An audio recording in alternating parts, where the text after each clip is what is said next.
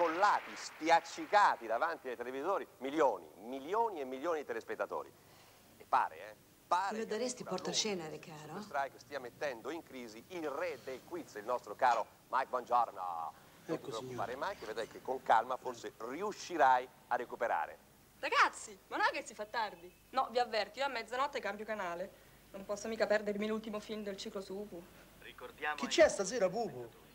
No, non mi dire che non hai seguito il ciclo del film intitolato Silenzio e morte, disperazione e sudore, ombre gialle e ombre nere. La Corea bastarda di Caneto Upu.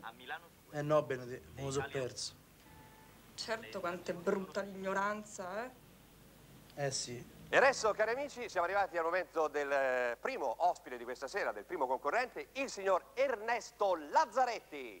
Ecco Chicco. Ma chi è quello? Eccolo qua, il nostro simpatico Ernesto Lazzaretti, benvenuto al Silver Strike. Enrico, Chi è Enrico? io. Ah, Enrico. Enrico Lazzaretti. cosa ho detto, scusa? Ernesto. Ernesto, Ernesto. Eh, purtroppo cambia. Enrico Lazzaretti? lapsus, eh. Ma allora è- molto più famose Ma lo conosci? Sì, è proprio allora, lui. È, Chi è? Un mio compagno di scuola. Roma, Roma, Caput. Caput Mundi. Bravo, bravo, vedete che preparazione anche alla lingua latina, mi fa piacere. Tu vesti sempre così elegante? Più o meno. O è per l'occasione che ti sei messo No, questa... più o meno tengo molto alla forma, un certo rigore. Certo rigore, c'è un negozio di abbinamento, te, te vesti. No, no.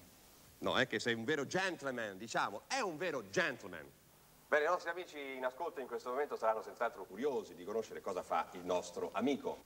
Eh, sono studente. Studente, studente universitario, No, liceale. liceale.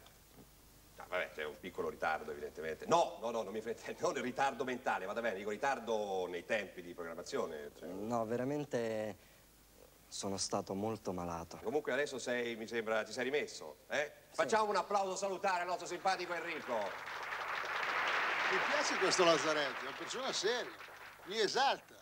Poi, ma perché non ce l'hai presentato prima questo tuo compagno di scuola?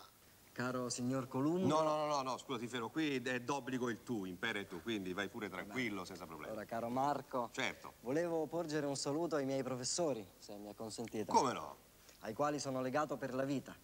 Per gli esami anche, soprattutto. Certo, infatti, come dice il grande Edoardo, gli esami non finiscono mai. E grazie ai miei professori, infatti, i miei studi proseguono ad Maiora. Traduco per Dai, coloro che non eh, hanno fatto certo, studi eh. classici. Ad Maiora vuol dire sempre più in alto. Bene, quindi come vedete il nostro personaggio ha diverse sfaccettature, oltre ad essere un vero gentleman, un ragazzo ben educato, colto e anche spiritoso. Senti, ma tu hai qualche hobby particolare? Beh, più che hobby direi che mm, vedo degli amici, ci riuniamo spesso in un bar che abbiamo trasformato in una specie di circolo letterario, ecco. Ho capito. Una sorta di caffè... Caffè Chantan, dove... No, no, no, no, no, no. Caffè letterario. Caffè letterario, come si usava all'inizio del Novecento, dove l'intelligenza si riuniva. Molto bene. Sì, il padrone ama contornarsi di noi giovani intellettuali. È un po' il mio mecenate, mi ha sempre aiutato. non si vede un becco di un È quattrino. una persona veramente impagabile e sebbene ci separi un immenso divario culturale, è unito a me da una profonda stima. È un mio amico. Chi se ne frega? Grazie, molto gentile. Volevo salutare anche due miei colleghi. Again? No, inglese, questo non è latino, sarebbe di nuovo. No, perché sembra la sagra dei saluti. Comunque, visto che sei un personaggio spiritoso, te lo concedo. Prego. Ecco, volevo salutare il caro professor Massimo Conti, mio valido collaboratore, e il professor Bruno Sacchi, filosofo, Addirittura? che in tutta la sua vita è sempre stato attratto dall'uomo. All'uomo? Dall'uomo. No, signora, guardi, ci deve essere uno sbaglio. Sicuramente non sta neanche parlando di me. Vabbè, comunque adesso siamo a piacciono... posto i saluti, siamo mi sicuri, non si è piacciono- dimenticato nessuno. Bene, allora Senta, posso togliere il golf? No, perché adesso sei sudato. C'ha ragione.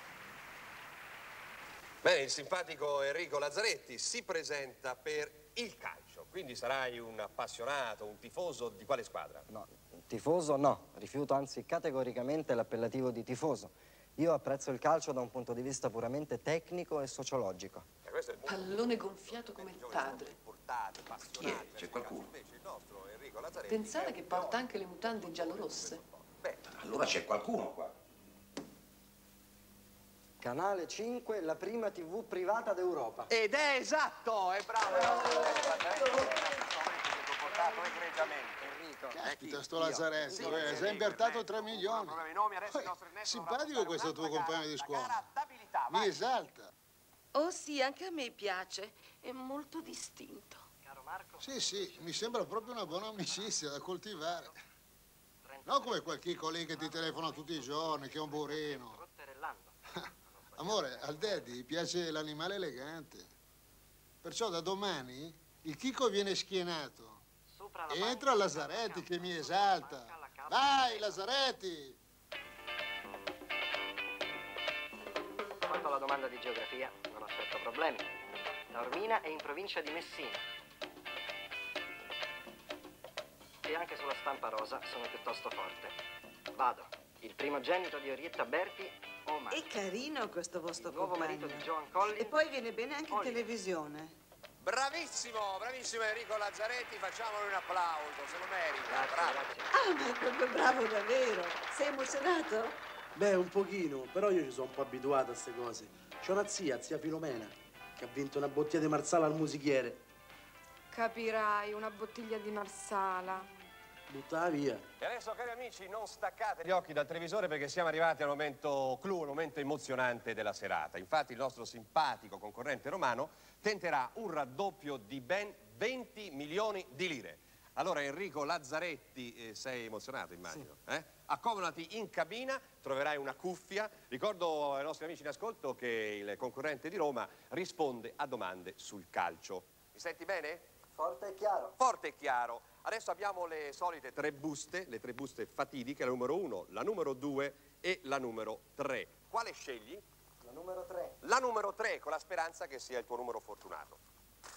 Enrico, pensa a tutti i tuoi fans, i tuoi amici, i professori che in questo momento ti stanno guardando e quindi forse questo ti aiuta, ti darà coraggio. Dunque, mi sembra Dove che i nostri esperti sono qui. stati un po' Ti cattivelli. detto che questa spostarsi volta, Porta eh? Iella. Meglio, meglio. Meglio?